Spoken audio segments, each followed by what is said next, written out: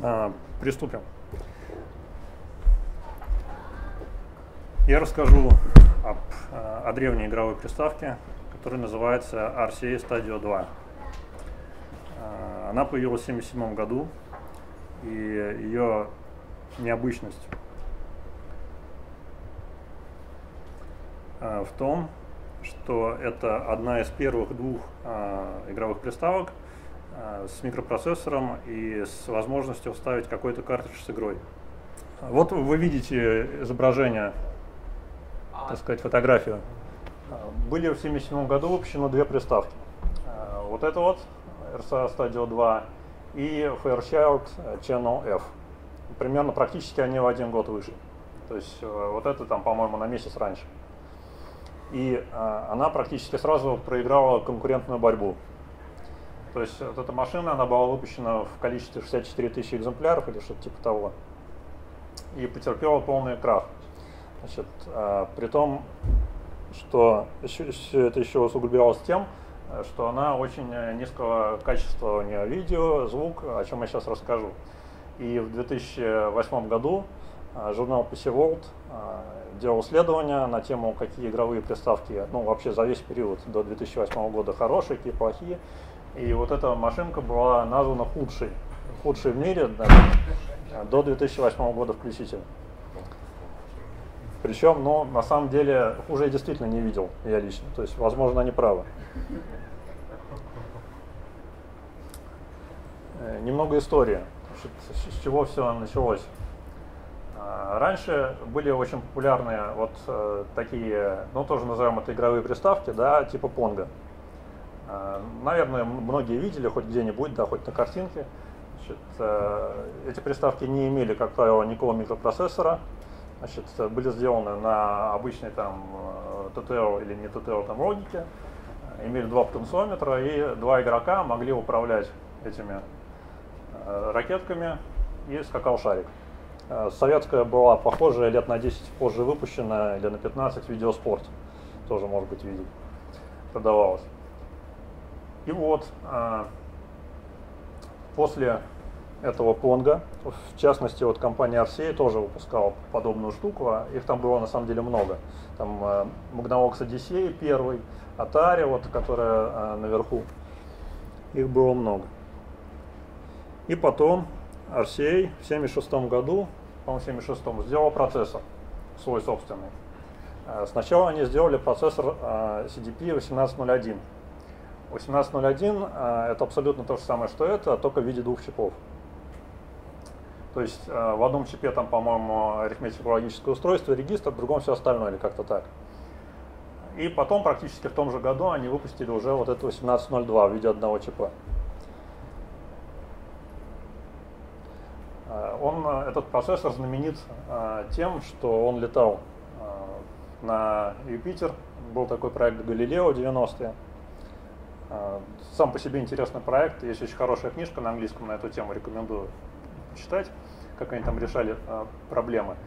Суть в том, что а, ну, известно, что около Юпитера достаточно большие проблемы с радиацией, она там очень интенсивная.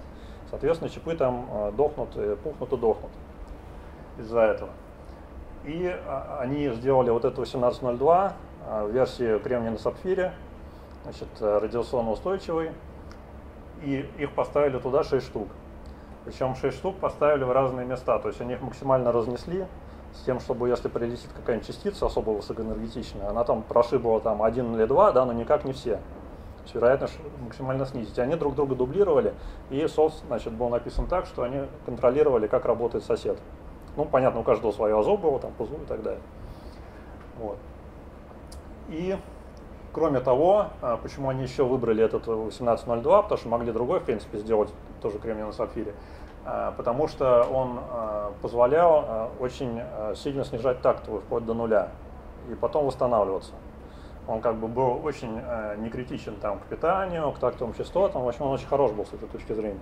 Любой процессор можно, статический дизайн, любой можно. Ну, так, тогда, тогда это было чуть ли там, если не единственный, то один из немногих. Z80 хмосовский тоже полностью статически. Тогда выбора не было реально вот, у людей, по крайней мере так пишут.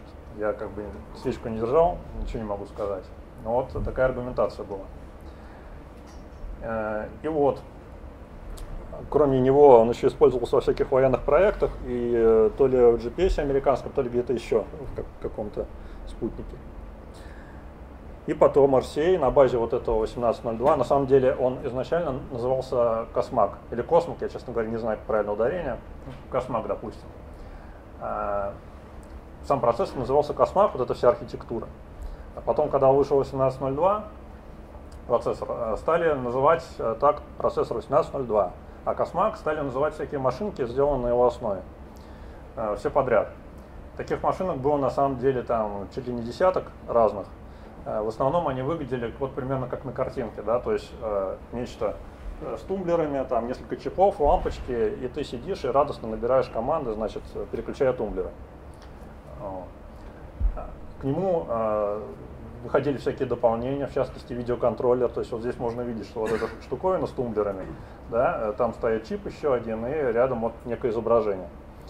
Что интересно, несмотря на то, что вот это все было в таком виде конструктора, Э, это все публиковалось э, в журналах э, в то время.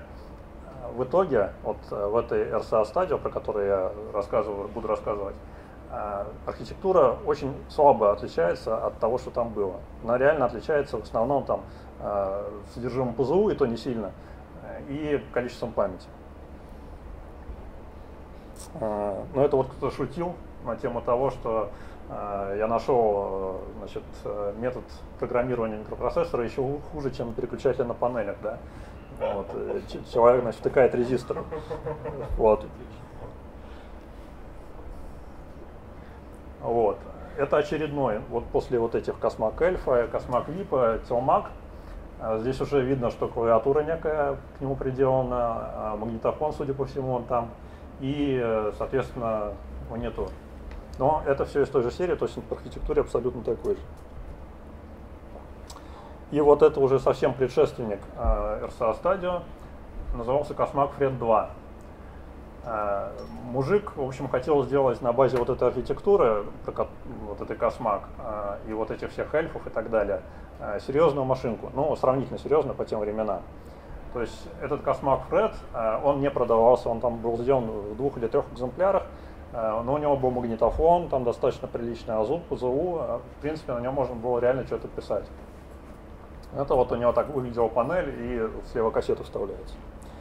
И вот уже вот следующим после вот этого э, Фреда вышел, ну вот опять я покажу картинку, собственно вот эта приставка RSA Stadio 2 с такой же архитектурой, про которую я сейчас расскажу. Игры под нее, но вот на выставку я там поставил, включил, любой может подойти посмотреть, выглядели примерно так. То есть у него было внутри встроенных 4 или 5 игр, и на картриджах продавалось, по-моему, 10 или не больше игр в сумме. Выглядели они примитивно, понятно, да? Э, Причем все это достаточно сильно тормозило. Характеристики у него примерно такие. Ну, процессор, понятно, 1802, 178 МГц, причем вот эти 178 МГц, они на самом деле очень медленные. А, из-за того, что там по ряду причин, как касательно самого процессора и архитектуры, в общем, считайте, что ну, 6502 тут многим знаком, считайте, что это ну, медленнее, чем 6502 той же частоты, но раза в 2-3 примерно, ориентировочно. А, он восьмиразрядный процессор, но у него 16-разрядный регистр есть. Далее, АЗУ в машинке 512 байт, но из них 256 сразу идут под видеопамять. Э, видеопамять, э, чтобы отображать 64 на 32 точки, два цвета, черный и белый. Цветов не предусмотрено. Это, наверное, единственная приставка без цветов, я, честно говоря, других не знаю. Вот, они выпендрились, поставили себе памятник. ПЗУ 2 килобайта, э, там простенький BIOS и кроме, собственно, каких-то таких базовых вещей, типа там обработчика прерывания и так далее, э, в BIOS э, прошита виртуальная машина. И с этой точки зрения момент достаточно интересный, э, потому что все вот эти Космак Эльфы, все вот из этой серии машинки, они тоже была там реализована в ПУЗУ виртуальная машина. потому что там в основном приложил руку один мужик ко всему этому. Ему, видимо, было по каким-то причинам интересно значит, вот сделать так. А виртуальная машина, но она немного напоминает там шитый код фортовский. Но смысл в том, что есть некий набор подпрограмм, там э, вывод простых спрайтов, э, значит, там издать какой-нибудь звук, получить случайное число. В общем, заточено под игры. Виртуальная машина. Э, и, соответственно, одна команда это один байт. Значит, и там некие параметры. Значит, одинакового размера все команды. К чему привело вот это все с виртуальными машинами? К тому, что все эти игры, что на космаках, что вот на RSA Stadio стандартно, они дико медленные. То есть они просто тормозят так, что это просто видно, как они тормозят не важно, что они там происходит. Вот. Э, но зато их можно переносить. Э, несмотря на то, что на RCA стадии вот на этой виртуальной машине немного отличается, то есть на тех машинах она называлась чип 8, а здесь она называется ST2. Э, но в принципе люди очень быстро написали значит, интерпретатор вот этого чип 8 для RCA Stadio. И у них все эти игры, которые были для космаков, для вот этих всех там десятки, они прекрасно пошли сразу. То есть человек пишет, там есть ролик на YouTube, говорит, я просто в шоке. То есть я говорю, написал, запустил, все заработал. Вот. То есть настолько как бы все было грамотно сделано, но медленно. Uh, уже позднее, там, начиная с 2000 года, как uh, модно среди многих старых архитектур, uh, люди стали делать homebrew игры, да, уже вот на современных технологиях, так, так сказать, современными знаниями, с кросс-средствами, и они, конечно, писали на ассемблере. Вот, и было написано, ну, тоже примерно десяток игр на ассемблере. Картридж, да, собственно, нюанс еще с ПЗУ. Идея в том, что когда ты вставляешь картридж, у тебя половина ПЗУ отрубается. То есть у тебя доступно только 1 килобайт необходимый. Вот, то, что перекрывается адресное пространство. Картридж 1 килобайт, ну, игры на самом деле, они все где-то до килобайта. Там теоретически могли быть картриджи больше, но я не видел, не слушал об этом. Э, видеочип. Видеочип тоже э, той же компании RCA, значит, 1861 Pixie. Э, он очень элементарен том плане, что там никаких ни спрайтов, ни аппаратного скроллинга, ничего вот этого всех излишеств, как бы, как мы любим, там ничего нет. Э, соответственно, там э, просто 64 на 32 на 32 точки и черные и белые цвета. И ты можешь либо поставить точку, либо нет. У тебя как бы выбор невелик. Э, тем не менее, у него есть DMA, можно перекачивать значит, с процессора по DMA туда данные достаточно удобно. Звук. Звук, конечно, они опять же выделились. Э, для звука там стоит, э, ну, многим знаком мне 555, значит, э, который просто умеет пищать. И он присоединен к порту, значит, в этот порт ты либо единичку записываешь, он начинает пищать, либо ставишь ноль, он перестает пищать. Вот. Частота 625 Гц. Все, вы ничего не можете изменить. Никакими средствами. Там все очень просто. Причем, ну, поскольку они когда это делали, понятно, они хотели дешевле и проще, Э, они понимали, что это как бы, ну, что-то маловато вроде. И они присобачили туда еще конденсатор или RC-цепочку, не помню. Э, и э, благодаря этому, как там написано, сделано некое затухание звука. И это затухание пропорционально длительности. То есть, если у вас длительный писк, он просто писк. А если короткий, он так мяу, так. Вот. Такое, значит, разнообразие обеспечивается этим. DMI э, в, чип, в, этот, в процессор встроен или на отдельном чипе? Там? В процессор встроен внутри процессора. Ну, э, карта памяти, собственно, значит, интерпретатор BIOS, э, встроенные игры. Да, от, отключается, собственно, когда вставляешь картридж с игрой, вот эти встроенные игры, они отключаются. Ну, потому что, понятно, они не нужны. Значит, собственно, картридж 1 килобайт, 256 байт АЗУ в вашем полном распоряжении, экран тоже 256 байт. И дальше там э, некое пространство, которое, в общем, зарезервировано, но неизвестно, видимо, оно не используется никогда. Э, Еще насчет видеочипа. Несмотря на то, что вот он такой весь из себя примитивный, э, есть некие способы из него вытянуть побольше. Ну, во-первых, значит, из стандартных вещей сразу скажу, что Там есть прерывание по кадру, то есть можно повесить, ну не то, что можно, в BIOS он уже есть, обработчик прерывания, который будет по кадру каждые там, одну шестидесятую секунды вызываться, и там что-то можно делать. Собственно, весь вывод изображения вообще, в принципе, через этот чип, он обеспечивается программно. Ну, как программно, почти программно. Если вы выключите прерывание, например, у вас изображение сразу пропадет, процессоре выключите. А, в обработчике э, делается очень просто. А, вы э, указываете там определенный регистр, а, адрес, откуда берется изображение, и дальше через DMA оно тупо запихивается в чип, прямо подряд. Поэтому, в принципе, у вас есть некий простор э, для воображения. Простор заключается в чем? Э, нативное разрешение этого чипа, вообще, ну вот аппаратное, оно не 64 на 32, а 64 на 128. То есть, в принципе, разрешение достаточно высокое. Вот. Э, тоже два цвета. И, но это бесполезно на практике с той точки зрения, что у вас всего 256 байт памяти, виде, ну вообще всего 512, да, и вы, ну вот как э, не корячитесь, все равно не сможете такое разрешение отобразить, потому что у вас просто памяти не хватит. Э, соответственно, можно что сделать? Да, как сделано в обработчике, э, как это избегается, решается эта проблема. Там просто дублируются строки. Вот. То есть берется 256 байт под э, видео, и дальше вводится там строка 4 раза. Вот одинаково. У вас получается как бы 64 на 32 разрешения. Причем, э, поскольку он там кратно не делится, последние строчки там добавляются как-то хитро. В общем, обработчик реально сложен. Вот. Если этот обработчик там для 64 на 128 написать, он вообще, вообще элементарно будет там в три, в три команды. Э, соответственно, вы что можете делать потенциально? Значит, ну, я попробовал, не стал это использовать, ничего, оно работает. Можно сделать следующее. Можно э, использовать вот это разрешение 64 на 128, Э, но при этом э, выводить кусками изображения. Да?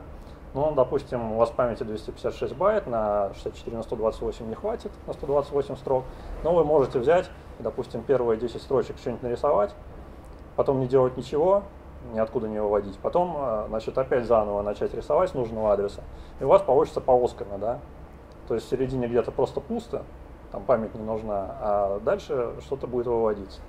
Вот можно так сделать. А, опять же, с целью экономии, они э, в ПЗУ э, даже не запихали алфавита. Там нет букв напрочь никаких. То есть даже не вывести толком надпись. Мне, я интро писал, но для этого ЦЦ, для тайны интро конкурс. Более того, ну, цифры им были нужны, понятно, потому что игры, да, надо как-то вводить счет хотя бы. Вот. Но даже здесь они сэкономили. Вот здесь вы можете в середине видеть, да, Э, но обычно в ПУЗУ, когда смотришь, там знакогенератор, да, там 1, 2, 3, 4, 5, 6, 7, 8, 9, 0. Здесь не так. Да, здесь вы видите 1, 3, 5, да. Почему? Потому что, кто-нибудь понимает почему?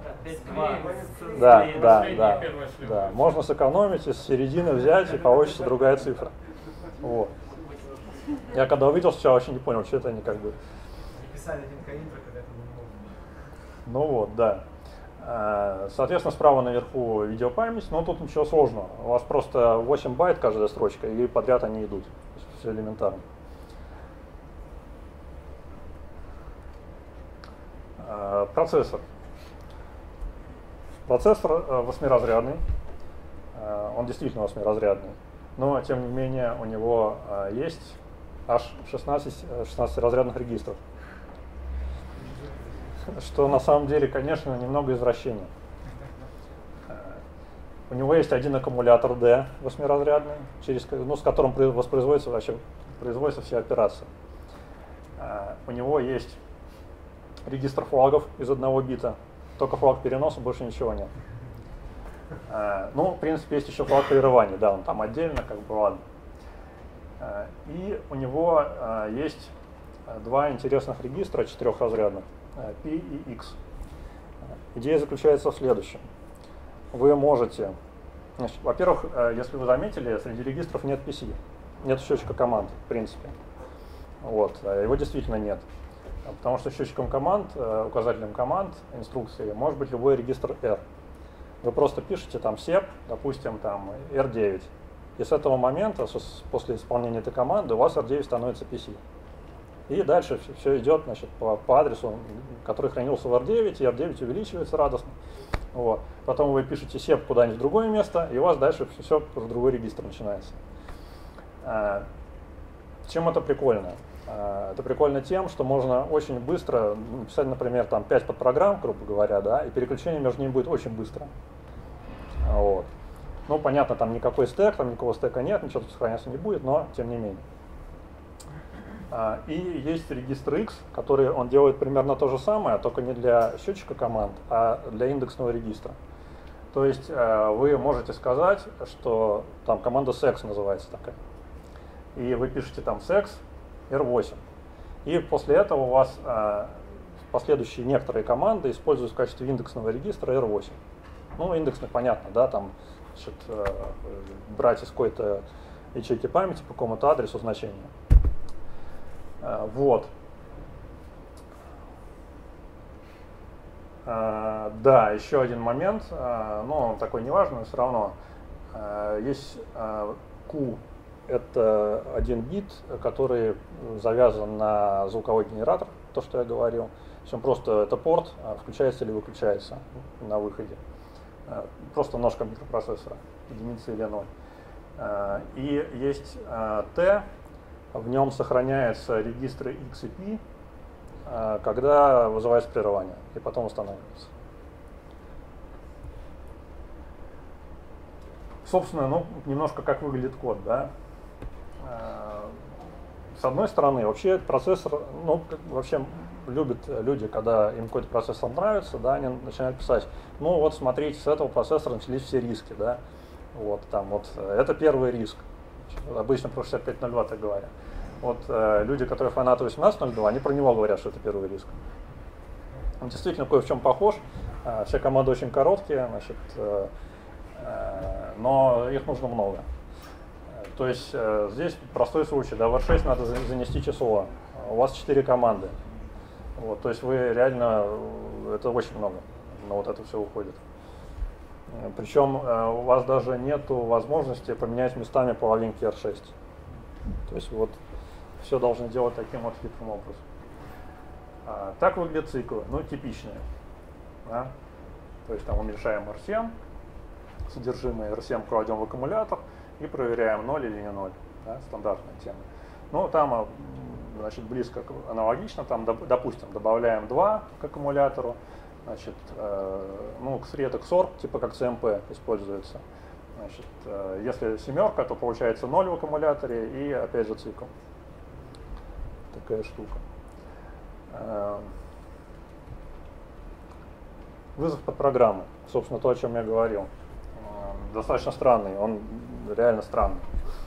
То есть, ну это простой случай. Реально бывает, конечно, случаи сложные, когда там надо сохранять переменные, организовывать стек. Ну, не будем этого углубляться. Аппаратного стека нет? Стека нет, аппаратного нет. Э, тогда вообще на самом деле мало процессоров было с аппаратным стеком, реально мало. То есть были просто некие команды, чтобы его было легко организовать. То есть люди не запаривались на эту тему. А, потому что усложняется лишнее осложнение кристалла. Так вот, а, вызов под программы. А, что вы делаете? Сначала у вас, допустим, PC, указатель инструкций, в регистре R3. И все хорошо идет, то есть вот начиная с этого места, да, все хорошо идет, у вас там что-то какая-то программа, вот. Потом вы, значит, э, хотите перейти э, к программе. Вы кладете в R14 адрес под программу, да, scroll. Ну, понятно, младший и старший байт. Значит, кладете. Э, сама подпрограмма, ну, я здесь криво написал, кор короче, scroll сам, я забыл. Вот. Короче, адрес под программы. И положили в R14, и дальше, когда хотите к ней перейти, вы делаете SEP R14. У вас PC становится R14, и э, все идет вот там вот уже. Но э, проблема заключается в чем? В том, что вернуться от, оттуда не так просто. Значит, если вы сделали бы, как здесь написано, а просто SEP R3, то есть на предыдущей PC, у вас бы вы оказались э, не там, где надо. По той причине вы не смогли бы сделать еще один вызов. Поэтому там делается достаточно хитро, да. Вот вы, значит, перед, этот сектор 14, вы оказались здесь, да, что-то выполнили, после чего вы, безусловно, переходите сюда и возвращаетесь. То есть понятно, чтобы у вас адрес был на начале. И тогда вы вернетесь вот сюда и сможете выполнить следующее. И в таком вот духе. Короче, Извиняюсь, это какой-то кросс-ассемблер? Это, ну, это кросс-ассемблер, но он выглядит так же, как обычно. А что за кросс-ассемблер? ASM-X. ASM-X есть такой. X под этот процесс, но... Да, но он не только под Или этот. Он широкого профиля. Он широкого, да, не только под этот. Ну, хороший ассемблер, нормальный, то есть как бы никаких вопросов. Да, но поскольку я писал он true, надо было как-то все это дело туда загрузить, чтобы посмотреть. Ну, потому что на эмуляторе неинтересно. Понятно, что на эмуляторе удобно проверять и э, писать, но не то ощущение, так сказать, посмотреть результат. Э, я вот э, уговорил с трудом вот, э, товарища Тима Ташпулатова, который окна сидит сзади. Все на него посмотрели, он спрятался сразу.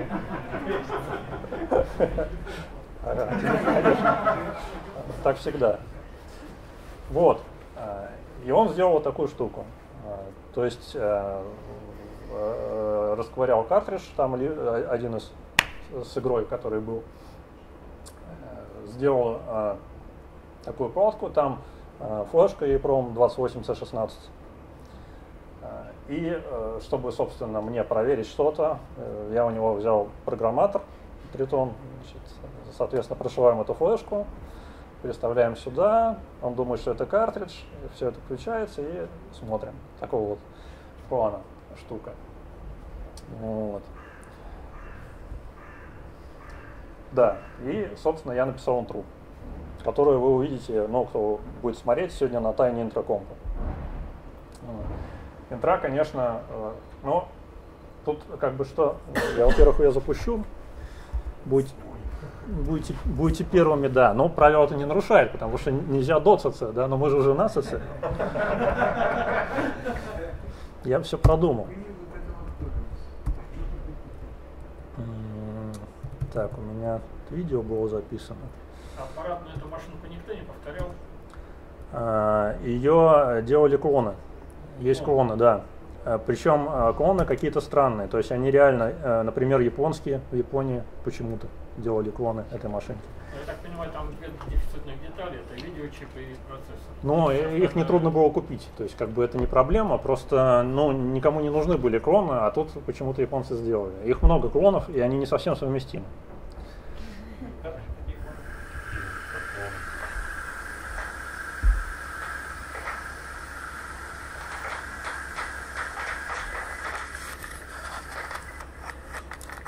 Монитор Сонька четвертая.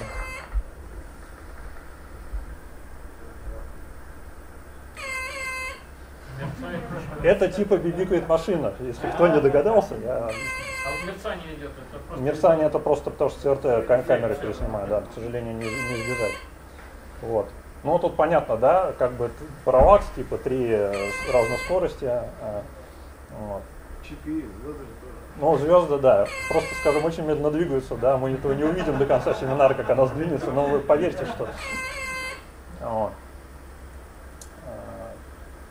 Собственно, как я говорил, аппаратного скроллинга ничего нет, э, поэтому это все просто двигается э, в видеопамяти. Причем э, а, исходник, кстати, я отдам, в смысле вы уже. Вот.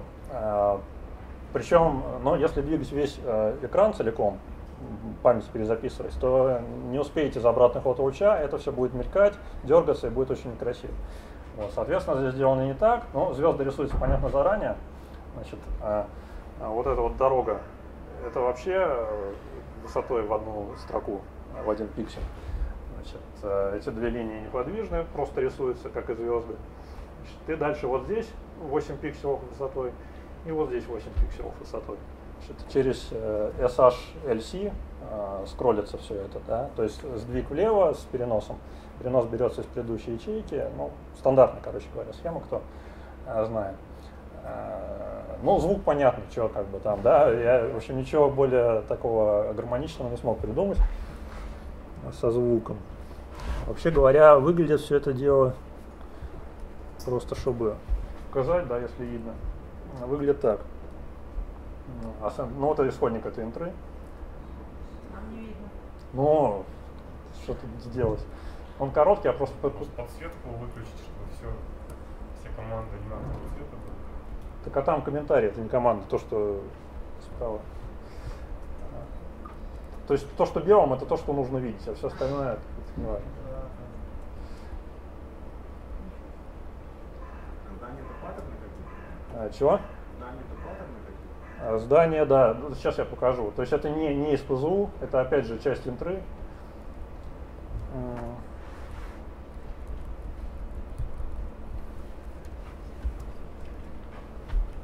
Что-то все повисло, что ли?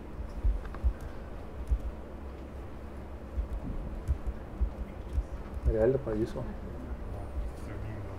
Да. Это на самом деле не Windows, это после Гибернете такая фигня. Зараза? Придется перегрузиться.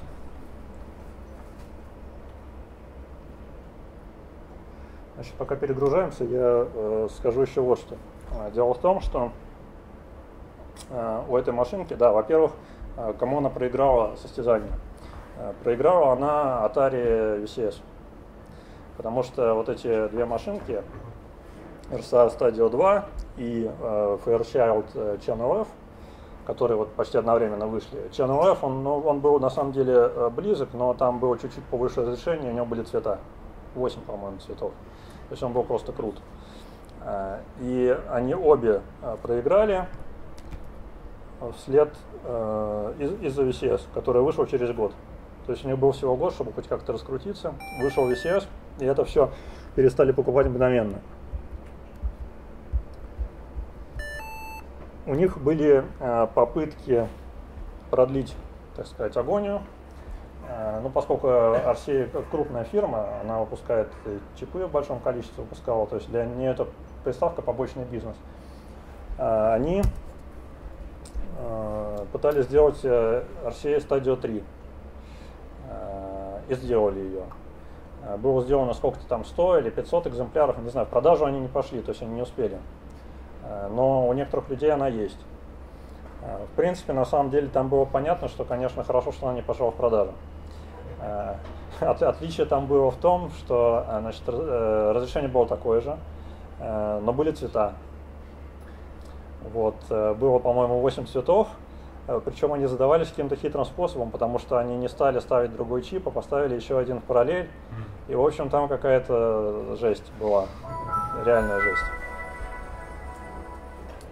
Ну круто. Ну еще обновляться сейчас будет. Ага. Сам, сам, самое время. вопрос по-быстрому. Да, конечно. Мы видели там 16 регистров, 16 разрядов, угу. это 256 байт памяти. То есть это и есть та, сам, та самая VRAM, либо VRAM... Не-не-не, регистр в процессоре. Вот в отличие от некоторых других, мы будем показывать пальцем процессор, здесь все честно. Вот, то есть здесь внутри процессора вот эти 16 регистров, они настоящие регистры. То есть по сути, если не 256 байт, а 256 видеопамяти, 256 памяти и плюс 256 регистров. Ну, кто считает э, регистры за память, да? Ты же программировать э, в чем-то должен, правильно? А, да, как бы. Отображаемую видеопамять можно переключить программно на другие чеки? Да, да, конечно, можно. То есть это можно сделать скроллинг? Вертикальный, можно, да. Но опять же, чтобы скроллить, нужно, чтобы было куда, да. А если у тебя 256 байт это вся память у тебя, как бы, ну, ну хорошо, допустим, ты там ужмешься, добавишь еще 128. У тебя под твои нужды останется там под программу 128. Ну, под данной программы 128. Ну, что ты там наскролишь? Ну, как бы. Про... А, ну, хороший вопрос. Вообще, честно говоря, а, ну вот я, например, когда эту интру писал, мне это, ну, как бы не понадобилось. Я, наоборот, старался, чтобы этого не было. Потому, потому что, как я говорил, э, там даже не поменять местами байты, там вообще ничего не сделать. Э, и чтобы, например, э, сравнить что-то да, в цикле, да, сравнить, закончился ли, собственно, цикл, тебе все равно надо из этого R-регистра перемещать в аккумулятор, который 8-битный. Поэтому если у тебя цикл больше, чем 256 э, раз, вот, тебе придется какую-то жуткую операцию провернуть, чтобы проверить, закончился ли он. Но там инкремент, он хотя бы есть регистр увеличивает? Да, да, да, инкремент есть, это круто. То есть там есть инкремент, есть декремент. Это 16-битных регистров. Да, да, 16 бит. Аккумулятор нельзя, аккумулятор нельзя. Вот. То есть там, короче говоря, все, что можно делать 16 вот этими с R регистрами, 16 разрядными, это увеличивать, э, уменьшать и перемещать э, в аккумулятор одну из половинок и из аккумулятора в половинку записывать. Все. Это а все. Сдвиги? А? А сдвиги тоже нет? А чего? Сдвиги. Они в аккумуляторе. Я не... Нитовые сдвиги. А, сдвиги. А, сдвиги только на аккумулятор, да. Вот, есть сдвиги, значит, э, циклического нет, а есть влево-вправо сдвиг и влево-вправо сдвиг с переносом. Вот. То есть все, короче говоря, все операции, типа там сложения, вычитания, э, эти самые всякие XOR, OR AND, э, все только с аккумулятора. Вот, иначе никак. Соответственно, это все реально ограничивает как бы, возможности. Э, и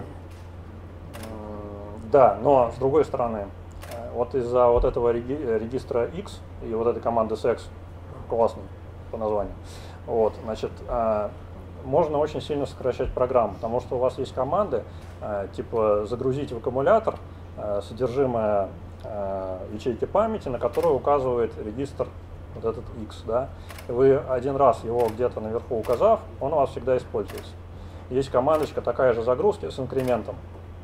Вот. Ну, короче говоря, там как бы э, так на пальцах не очень хорошо объясняется, но в общем она сокращать э, ужимает несколько там три команды до одной.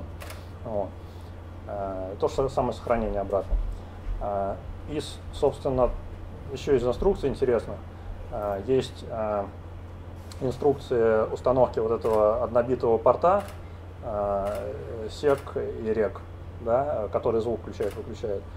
И есть INT и OUT, значит, две команды, которые позволяют писать в порты, но, к сожалению, от конкретного ТРЦА там это ни к чему не подключено.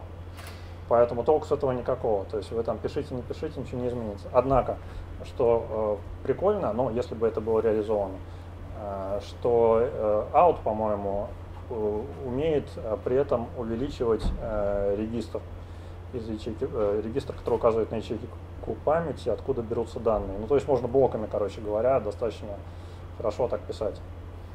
Вот. Э, из памяти. Э, значит, так. Э, что еще сказать? А портов столько же, сколько адресов АЗО? Ой, по-моему, у него 4, 4 пина на порты, по-моему. По-моему, 4. Вот. Но они практически не используются. Кстати, вот в наше время вообще интересно, что, э, ну вот все знают, был такой Альтаир, да, э, машинка с этими стумблерами, да, на которой этот Билл Гейтс писал в свое время там этот первый свой DOS, да, и так далее. Ну, короче, раскручен. Basic. Basic, да, Basic. Э, раскрученная машинка, э, поскольку ее показывали в кино всячески, сейчас она там стоит кучу тысяч баксов денег на eBay, там вообще какую-то немерено стоили 200 тысяч. Вот. И, при том, что ящик там вообще 80-80 процессора, там какая-то логика. Э, так вот, про нее все знают. А вот про этот Космак, например, не знает практически никто у нас, по крайней мере. А в то же время это была ну, сопоставимая линейка, да, только параллельная. Параллельно шла.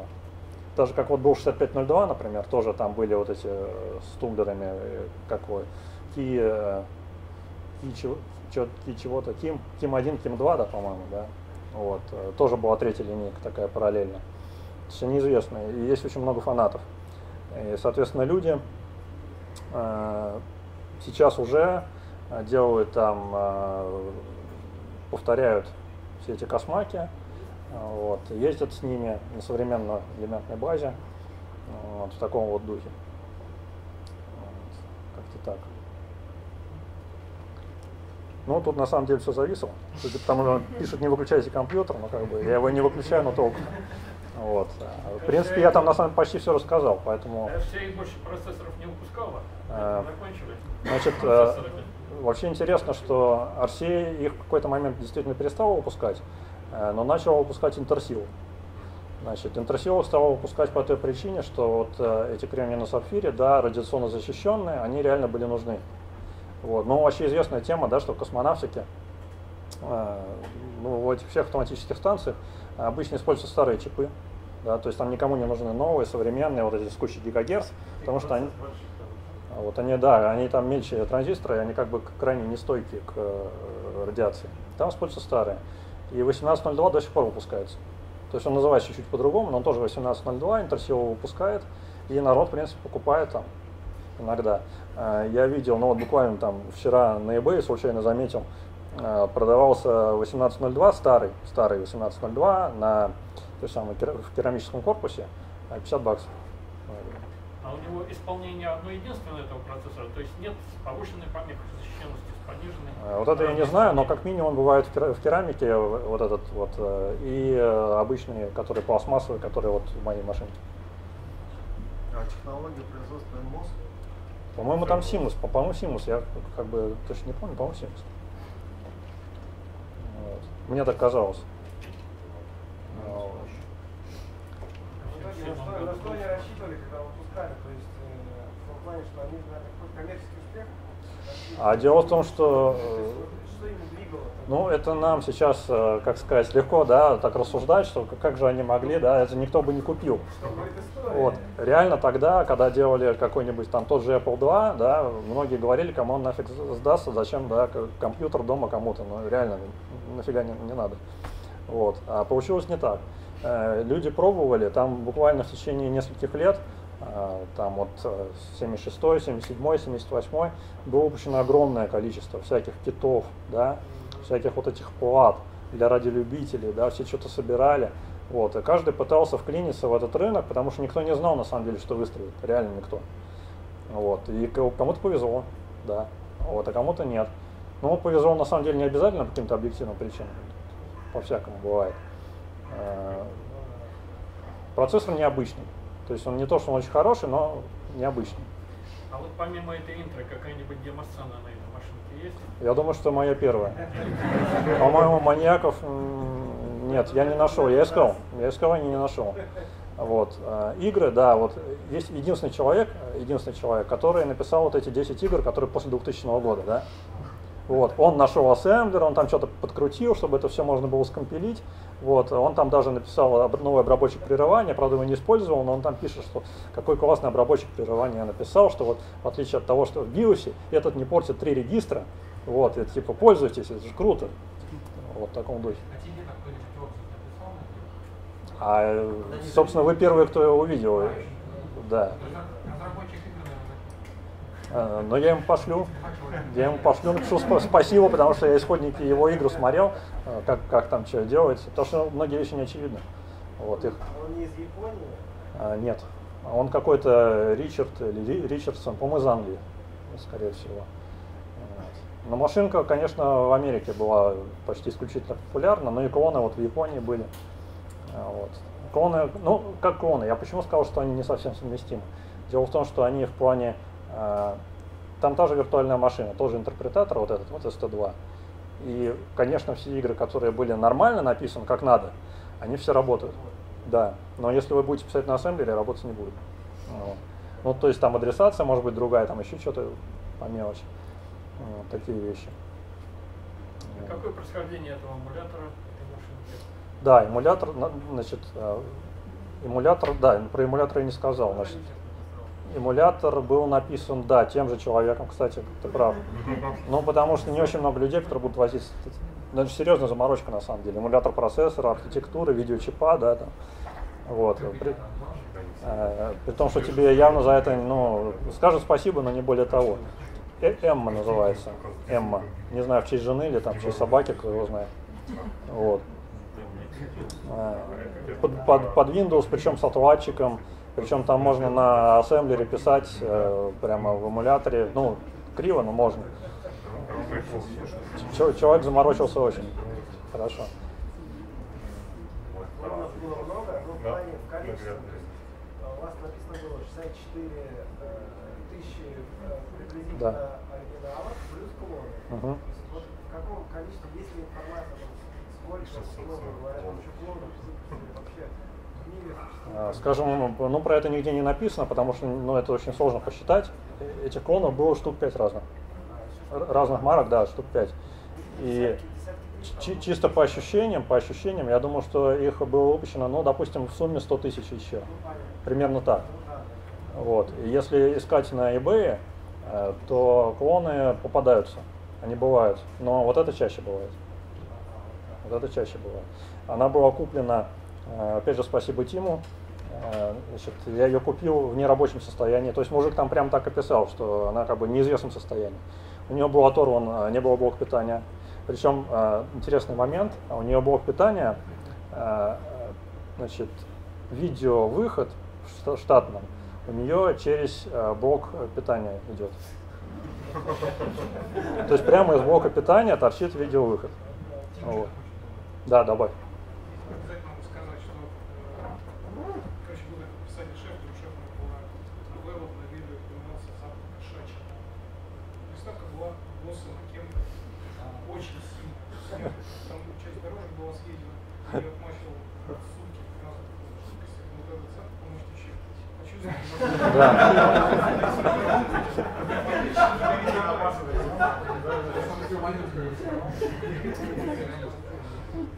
Вот, да, вот он заморочился. Причем, когда я ему ее отдавал, на самом деле, ну, он говорит, ты ее вымой хотя бы, прежде чем отдавать. Но он увидел на фото, что она в таком состоянии. Я ее вымыл, что, мне не трудно, я ее потел тряпочкой, там, вымыл со всех сторон. Вот, и, в общем-то, я особо ничего не чувствовал. А он, видимо, ее открыл, и там все было немного иначе. Вот, там реально ржавые были вот эти вот как бы разъем, куда картридж вставляется. То есть котик, видно, он прицельно попадал, потому что единственная щель, там больше некуда на самом деле. И поэтому снаружи не особо пахло. Вот. Такая штука.